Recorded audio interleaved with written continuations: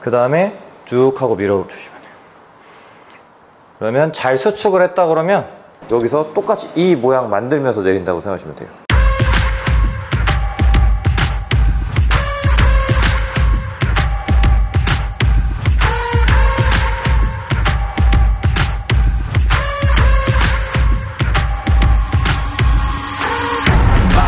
일단 아무 무게가 없어서 좀 가벼워가지고 10kg만 달게요.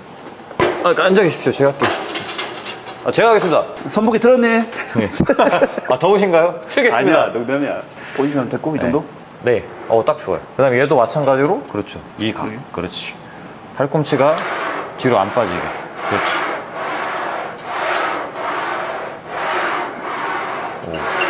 오. 오. 오. 예. 그렇지.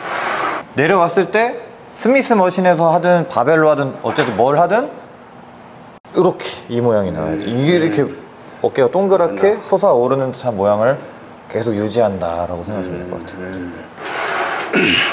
세 개. 하나, 둘, 한번 끝까지 다 밀어볼게요. 끝까지 쭉. 네. 네. 마지막 끝까지 그 밀었을 때 정도까지 수축. 어, 왔어, 왔어. 네. 그 느낌. 오. 네. 근데 이렇게 한 번에 한마디에 이해하신다는 것 자체가 쉽지 않습니다. 초보분들은 끝까지 하라 그러면 어떻게 되냐면 하나 하고 텐션 풀리고 음. 하나 하고 텐션 풀려요. 음. 그렇게 할 바에는 그렇게까지 가면 안 되고 지금 보시면 알겠지만 예를 들어 10개를 하시면 1부터 10까지 tension이 계속 유지가 돼요. 한 세트 간에 tension이 유지가 돼 있어야 되는데 하나 하고 끊고 하나 하고 끊고 계속 수축을 한다고 해서 꽉 짜내려고만 하면 끊기는 현상이 있으니까 초보분들은 그러지 말고 테크닉적으로 익숙하시거나 어느 정도 숙련도가 음. 중상- 높은 중상급자. 사람만 네. 중상급자. 그분들은 이제 참고하시면 좋은 리듬이에요. 마지막 한번 해볼게요. 와서 거울로 내 모습을 봤을 때 지금처럼 광배근, 대원근 앞으로 이렇게 딱 펼쳐서 보여지고 그리고 내려왔을 때 삼각산이 이렇게 생기는 거죠. 이때 후면 삼각근 긴장이 없으면 회전근개 긴장이 없으면 이게 안 나옵니다.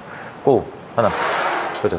그렇지. 끝까지 폈을 때 어우 셋 결코 프레스가 전면 삼각근만 쓰는 운동이 아닙니다. 측면 삼각근은 완전히 수축할 수 있어요. 그렇지. 네. Yes. 네. 일곱. 네. 견갑을 양옆으로 펼치듯이 밀어볼게요. 대각선으로 펼쳐놓는다는 느낌으로 밀어볼게요.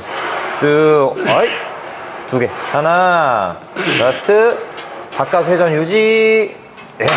좋았습니다. 후! 괜찮았죠? 오우. 음, 어우, 좋은데? 네. 제 생각에는 어깨를 이렇게 딱 바깥으로 펼쳐서 부풀리는 그 감각이 떨어졌다기보다는 잘 안 사용하신 거죠. 그 감각을.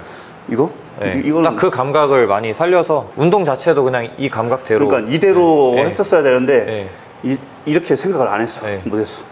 그러니까 이게 하체로 비유하면 딱 이해가 되실 것 같아요. 하체도 워낙에 하체 사두가 되게 좋으신 natural bodybuilder 가운데 또 굉장히 좋은 사두를 자랑하시잖아요. 그런데 이 다리 만드시려고 했, 썼던 그 테크닉이 있을 거예요. 음, 그죠? 음, 음, 뭐. 제가 뭐 유추할 수 있는 거는 흔히 말하는 보디빌딩에서의 라인업 그 자세에서 그치. 외측 광근 이렇게 펼친 자세를 tension을 유지하시면서 아마 스쿼트라든가 leg press라든가 다리 운동 이렇게 많이 하셨을 거예요. 그죠? 그거랑 똑같이 어깨도 라인업 같은 그 tension을 유지한 채로 운동을 한다 생각을 하시면 난 왜 그 생각 못했을까? 근데 이게 또 raise랑은 또 얘기가 조금 달라요. 음. press기 때문에 또 그 테크닉을 추천을 합니다. 아까 바벨은 이 얼굴 앞에서, 머리 앞에서 해야 되다 보니까 음. 조금 더 앞에서 이루어진다면 덤벨은 옆에서 해도 된다는 게 이제 이점이 있죠. 음. 대신에 뒤로 빼 빠지지 않을 정도라면 팔꿈치 방향을 아까 말씀드린 것처럼 어깨 관절. 지금 보시면은 경추보다 어깨 관절이 앞에 있어요. 그죠? 음. 거기 있어야 됩니다. 팔꿈치도. 덤벨과 팔꿈치가 그렇죠. 딱 거기죠. 너무 지나치게 앞으로 가시지 않으셔도 되고, 예, 어우 좋습니다. 그 상태에서 그냥 그대로 네 미시면 됩니다. 하나, 네, 둘 내려올 때 마찬가지로 좀 멀리 그리고 팔을 귀에다가 붙일 듯이 미셔도 돼요. 예, 역시, 예. 그리고 지금은 이제 바짝 앉으셨는데 뭐 벤치에 따라서 또는 무게에 따라서 너무 바짝 앉지 않으셔도 됩니다. 음. 물론 이제 이렇게 많이 인클라인 벤치 마냥 누우실 필요는 없는데 가동 범위가 안 나오는 분들이 계세요. 그런 분들은 바짝 안고 하면은 이렇게 팔이 떨어질 것 같은 느낌이 나버리니까 좀 좋지 않죠? 가동성이 나오시면 상관없고 가동성이 좀 부족하다 하시는 분들은 앞에 살짝 이렇게 빠져서 해도 됩니다. 그럼 뒤로 좀 더 눕게 되겠죠. 음. 그러면 요거밖에 팔이 안 올라가는 분들은 그대로 이제 수직으로 지면으로부터 수직으로 밀 수가 있습니다. 조금 아쉬움이 있겠죠 물론 그런 분들의 경우에 프레스를 하면 전면 삼각근 운동이라고 못을 박아버리게 되는 이유가 음. 가동성이 안 나오니까 전면밖에 쓰일 수밖에 없어요 네. 아. 근데 가동성이 좋고 상완 리듬을 여기 측면에서 가운데로 모으는 식으로 리듬을 가져가는 게 아니라 앞에 전인된 상태에서 광배근이 늘어나면서 팔을 쭉 하고 올린다는 느낌으로 리듬으로 가져가시면 측면 삼각근이 더 많이 개입되고 전면 삼각근 운동이라고 생각을 못 하실 거예요. 전면, 측면 다 쓰게 되어 있습니다. 물론 덤벨을 여기서 이렇게 가져가진 않고요. 여기서 똑같이 이 모양 만들면서 내린다고 생각하시면 되죠. 네. 그래서 이 거울이 지금 보이면 여기 동산을 이미 만들어 놓고 시작을 하셔야 됩니다. 후면 삼각근 긴장까지 갖추어서. 네. 그렇죠. 내려오면서 여기가 텐션이 걸립니다. 좋습니다. 네. 네. 다섯. 여섯. 일곱. 아, 여덟. 가슴이 워낙 좋으셔서 이제 가슴도 많이 쓰이네요. 네. 괜찮습니다, 근데. 안 쓰이기 어렵다고 봅니다, 저도. 그만. 네. 보시는데 불편을 드려서 죄송합니다. 중간 광고 좀 잠시 하고 들어가겠습니다. 네. 예, 랭킹닷컴 엠버서더답게 항상 랭킹닷컴의 좋은 제품이나 이벤트 소식을 전달해 드리고 있죠. 이번에도 너무 좋은 이벤트 하나 들고 왔습니다. 여러분들 어차피 닭가슴살은 매달 드시고 계실 겁니다. 그렇기 때문에 닭가슴살 랭킹닷컴 이용하실 때는 무조건 이벤트 기간에 최대한 많이 사시는 게 제가 이득이라고 말씀드렸을 겁니다. 이번에는 무려 닭가슴살 왕의 귀환, 예, 왕의 귀환 이벤트가 시작된다고 하네요. 어, 이번 이벤트의 핵심은 끝판왕 패키지 쿠폰과 먹신 먹왕 쿠폰이 되겠습니다. 끝판왕 패키지 전용 쿠폰 같은 경우는 5만원 이상 구매하신 분들께 만원 할인 쿠폰을 증정해드리는 패키지 쿠폰입니다. 그리고 먹신 먹왕 머슬킹 쿠폰 같은 경우는 3만원 이상 구매하신 분들께 마찬가지로 5천원 할인 쿠폰을 증정해드리는 쿠폰이 되겠습니다. 아, 주의하셔야 될 거는 발급 후 하루 이내에 사용을 하셔야 되고 이 프로모션이 종료가 되면 자동으로 소멸되니까 발급 받으시고 바로 할인 적용해서 예, 사용하시면 되겠습니다. 자, 본 이벤트는 9월 30일부터 10월 17일까지 진행됩니다. 한번 링크 들어가서 구경해 보시고서 필요하신 거 있으면 이번 기회에 할인 받으셔서 꼭 이득을 얻으시길 바라겠습니다. 다시 한번 말씀드리지만 이벤트 기간에 사는 게 무조건 이득이라고 말씀드렸죠. 외우세요. 자, 물론 상시 당연히 이용하실 테지만 이벤트 할 때는 안 사면 손해다. 저 이렇게 중간 랭킹닷컴 광고 마쳤고요. 항상 중간에 이렇게 광고 봐주셔서 감사드리겠습니다. 다시 돌아갈게요. 이렇게 쳐지잖아요. 이렇게 쳐지지 않게 상방 회전한다는 느낌으로 쭉 뽑아주세요. 그러면 견갑을 견갑이 뒤에서 보면 이렇게 쳐지는 게 아니라 음. 이렇게 돼요. 이렇게 음. 이렇게. 아니, 그 상태에서 누른다고 생각하시고 이쪽으로 그러면은 바깥으로 쭉 음, 하고 음. 펼쳐집니다. 음, 음. 이겁니다. 이 셋업을 유지하시고 그 다음에 시작하는 거예요. 여기서 들면서 저는 내 회전을 살짝 쓰는 편이거든요. 음. 이런 식으로. 그리고 궤적이 이쪽으로구나. 옆에서 보시면 대부분이 들면서 이리로 빠져요. 옆으로. 네, 이리로 이렇게 빼지 말고 왜냐면 이리로 가는 거는 저항이 없잖아요. 사실 중력 저항이 없고 텐션이 저항에 걸리질 않아요. 음. 다만 힘이 들어가는 느낌은 나요. 그게 이제 이런 거죠. 내가 컬을 했는데 여기서 여기까지는 저항이 들어가서 유의미한데 이 상태에서 이 힘을 준다고 해서 내가 이게 근비대가 이루어지진 않잖아요. 음. 여기 저항은 없으니까 음. 이 구간의 저항. 음. 그것처럼 이 저항이 없기 때문에 여기서 이렇게 가는 힘이 필요 없는 거죠. 그러니까 너무 사이드에서 할 필요가 없다는 얘기예요. 음. 아예 이렇게 여기서 할 거 아니면 음. 앞에서 둔 채로 음. 팔꿈치가 몸, 몸통 뒤쪽으로 가지 않게 전인된 상태를 살짝 유지하셔야 돼요. 그 각도는 개개인마다 좀 달라요. 음. 그리고 뭐 견갑의 각도가 조금씩 다 음. 다를 것이기 음. 때문에 살짝 숙여야 되는 사람도 있을 거고 숙이지 말아야 되는 사람도 있어요. 허리가 안 좋은 사람은 사실 숙이면 좀 부담이 되죠. 음. 근데 저는 부담이 되더라도 숙이는 게 좀 이득이 있다고 생각을 해서 음. 살짝 숙인 상태에서 고관절 둔근 잘 써주고 코어까지 요, 요 상태 요거를 만드는 거예요. 이렇게 둥글게 아까 말한 여기를 회전의 축으로 둬서 안쪽으로 토크를 주세요. 안쪽으로 토크를 주면 상완골은 바깥으로 미끄러지듯이 이렇게 됩니다. 골두가 이렇게 바깥으로 밀려나가는 힘이 나가게, 돼요. 토크를 그렇게 주고 있기 때문에. 그 상태를 유지하면서 이렇게. 그 다음에 쭉 하고 밀어주시면 돼요. 그러면 잘 수축을 했다 그러면 이 상태에서 어깨가 동그랗게 산이 만들어지죠. 수축을 못하면 여기가 긴장이 들어가니까 그 산이 덜 나오고 텐션도 삼각근으로 안 갈 겁니다.